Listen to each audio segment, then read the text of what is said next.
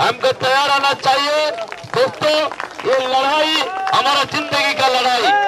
ये लड़ाई हमारा जीने का लड़ाई। हमको जीना चाहिए। तो संघर्ष को गांधी जी के साथ आप लोग सब कराना चाहिए। हमको ज़िंदगी भर जीना चाहिए। हमारा आगे पीढ़ी को भी जीना देना चाहिए। इसलिए हम सबको ये एनओपीएस का लड़ाई को साथ देना चाहिए। पुराना पेंशन हमारा मांग है। हमारा ये ज़िंदगी का एक आशा बाड़ी है। हम इसको लेकर चलना चाहिए। तो इसलिए साथियों, हम पीछे नहीं हटना चाहिए। जो भी सरकार है, जो भी सरकार आए, इसको चेतावनी देना चाहता हूँ। सरकार, आपको ये उन्नीस का घंटे बज गई आपके लिए। अब जल्दी बाहर हो जाओगे। जब हमारा मांग नहीं पूरा नहीं करोगी, जब तक पूरा पेंशन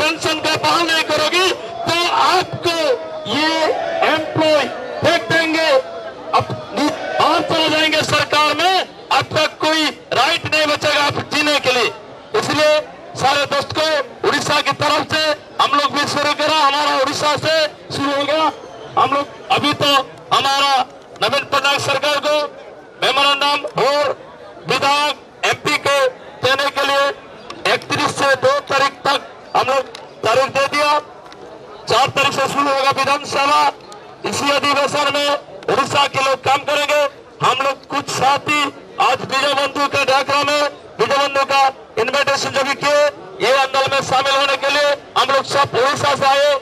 इस आम सबको आभारी करता हूँ कि जो साथी लोग अपने घर परिवार छोड़कर वहाँ आकर बैठे हुए हैं जंतर मंतर में, उनके लाभ करने लिए देश के हित के लिए, अगले जन, अगले जेनरेशन के लिए जो जेनरेशन चाहता है कि हम अच्छा ज़िंदगी जी सके, हमारा परिवार अच्छे से रह सके।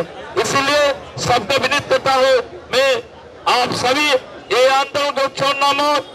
विजय बंधु के साथ और अपने साथी लोग जो लोग घर बैठे हुए हैं, जो लोग सो रहे हैं, इसको जागृत करिए। जागो जागो। हम सबको जाना चाहिए, हमारा अधिकार लेना चाहिए। हमको एक पुराने पेंशन चाहिए, हमको बुढ़ापे में जीना चाहिए, हमारा परिवार को जीना चाहिए, देश को जीना चाहिए, देश को आज़ादी के लिए जैसे महात्मा गांधी जी ने संघर्ष किए थे। आज इसी तरह विजय बंधु ने दिल्ली दरवाज़ा में सबको बुलाकर आज पुराने पेंशन बहाल के लिए हर कोई एम्प्लॉय को ज़िंदगी देने के लिए जो कोशिश कर रहे हैं, हम उसके साथ हैं, ज़िंदगी में रहेंगे, चलते रहेंगे, उड़ीसा के सब एम्प्लॉय रहेंगे, आपका साथ देंगे। जय जगन्नाथ, समस्त को पूरी तरह धन्यवाद अभी। एक माटी, उड़ीसा माटी समस्त कर्मचारी आपण सहित अच्छा आम रही